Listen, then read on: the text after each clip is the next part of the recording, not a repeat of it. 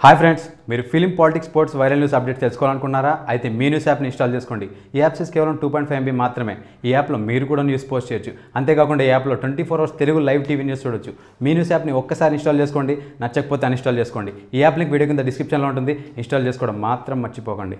మనలో ప్రతి ఒక్కరికి జీవితంలో ఎప్పుడైనా ఒక్కసారి షిప్లో ప్రయాణించాలి అనే కోరిక ఉంటుంది. ఈ ప్రపంచంలో అతిపెద్ద షిప్ ఏది అంటే టైటానిక్ అని అందరూ టక్కున చెప్పేస్తారు. ఎందుకంటే టైటానిక్ షిప్ గురించి మనందరికీ తెలుసు. కానీ ఈ ప్రపంచంలో టైటానిక్ షిప్ కన్నా పెద్ద పెద్ద షిప్లు క్రూజ్లు చాలానే ఉన్నాయి. మరి ప్రపంచంలోని అటువంటి కొన్ని టాప్ బిగ్గెస్ట్ షిప్స్ గురించి మీకు తెలియని కొన్ని ఆసక్తికరమైన విషయాలు ఈ వీడియో తెలుసుకునే ముందు టీటాక్ ఛానల్ని సబ్స్క్రైబ్ చేయడం మాత్రం మర్చిపోకండి. ఇక విషయంలోకి వెళ్దాం. Number one oasis of the seas ఈ షిప్ రాయల్ కెరేబియన్ ఇంటర్నేషనల్ కార్పొరేషన్కి చెందింది. ఈ షిప్ యొక్క విశిష్టత ఏంటంటే ఈ షిప్లో ఎక్కువ మంది కెపాసిటీ పడుతుంది. ఈ షిప్ ఒక్కసారి ప్రయాణంలో ఆరు వేల మంది వరకు క్యారీ చేస్తుంది. ఇది ఒక రకమైన రికార్డ్ అని కూడా చెప్పాలి. రెండు లక్షల యాభై వేల టన్నుల బరువు పన్నెండు వందల ఫీట్ల పొడవు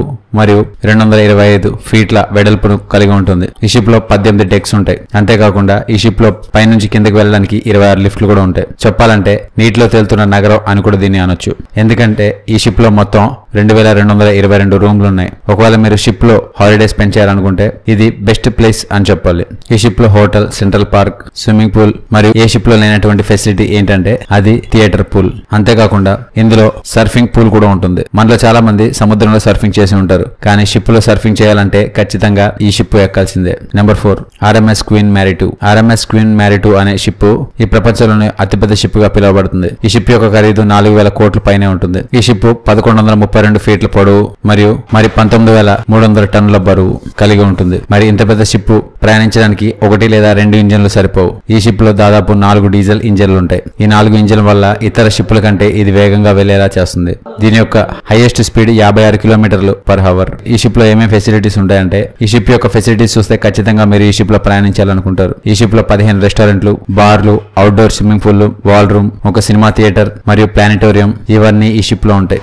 దీన్ని స్పెషల్గా అట్లాంటిక్ సముద్రంలో ప్రయాణించడానికి డిజైన్ చేశారు. ఈ- షిప్లో దాదాపు రెండు వేల ఏడు వందల ప్యాసింజర్లు ఈజీగా ప్రయాణించవచ్చు number three Seawise joint పంతొమ్మిది వందల డెబ్బై తొమ్మిదిలో ఈ షిప్ని జపాన్లో తయారు చేశారు. ఇది ఈ ప్రపంచంలోనే అత్యంత పొడవైన షిప్గా కూడా పిలువబడుతుంది. దీని యొక్క పొడవు ఈ ప్రపంచంలో ఉన్న అన్ని షిప్ల కంటే చాలా పొడవు.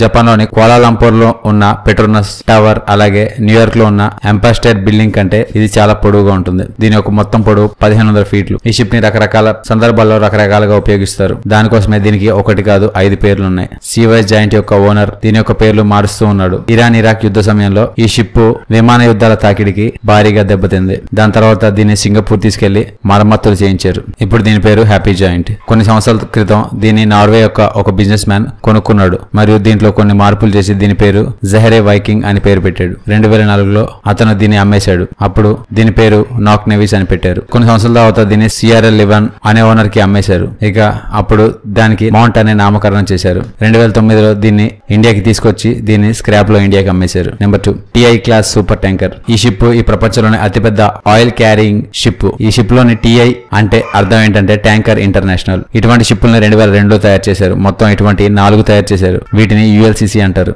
దీని యొక్క అర్థం ఏంటంటే అల్ట్రా లార్జ్ క్రూడ్ క్యారియర్స్ ఈ షిప్పుల్ని మొట్టమొదటిసారిగా ఫేర్ ఫ్యాక్స్ టారా అల్హమ్రా మరియు మెట్రోపాలిస్ అని పిలిచేవారు. కానీ ఇతర కంపెనీలు వీటిని కొనుక్కోవడం ద్వారా వీటిని ఉసేనియన్ యూరో ఏషియా మరియు ఆఫ్రికా వంటి పేర్లతో నామకరణం చేశారు. ఈ అతిపెద్ద షిప్ల యొక్క పొడవు పన్నెండు వందల ఫీట్ల కంటే ఎక్కువగానే ఉంటుంది. వీటి యొక్క బరువు చాలా ఎక్కువగా ఉండడం వల్ల ఇవి చిన్న చిన్న కెనల్స్ నుండి ప్రయాణించలేవు. ఇవి డైరెక్ట్గా సముద్రంలోనే తేలగలవు. మరియు ఈ షిప్ల యొక్క విష్టత ఏంటంటే ఒక్కసారి స్టార్ట్ అయితే ఆగకుండా రెండు నెలల పాటు సముద్రంలో ఇది ప్రయాణించగలదు number one Russian nuclear icebreaker మనలో ప్రతి ఒక్కరికి టైటానిక్ షిప్ గురించి తెలుసు. టైటానిక్ షిప్ సముద్రంలో ఒక ఐస్ బర్గ్ ఢీకొట్టి మునిగిపోయిందని మనందరికీ తెలుసు. కానీ ఆ సమయంలో ఈ షిప్ కనుక ఉంటే టైటానిక్ మునిగిపోయేది కాదు. ఎందుకంటే ఇది ఎటువంటి షిప్ అంటే ఇది ఎటువంటి ఐస్ నైనా బ్రేక్ చేసుకుంటూ ముందుకు దూసుకెళ్ళిపోగలదు ఐస్ని బ్రేక్ చేసుకుంటూ ఈ షిప్ పంతొమ్మిది కిలోమీటర్ల వేగంతో కూడా దూసుకెళ్ళగలదు nuclear power icebreaker ship ఉన్న ఏకైక దేశంగా రష్యా పిలువబడుతుంది. సాధారణ డీజిల్ షిప్పుల కంటే న్యూక్లియర్ పవర్ ఇంజన్ షిప్పుల యొక్క మెయింటెనెన్స్ చాలా ఎక్కువగా ఉంటుంది. డీజిల్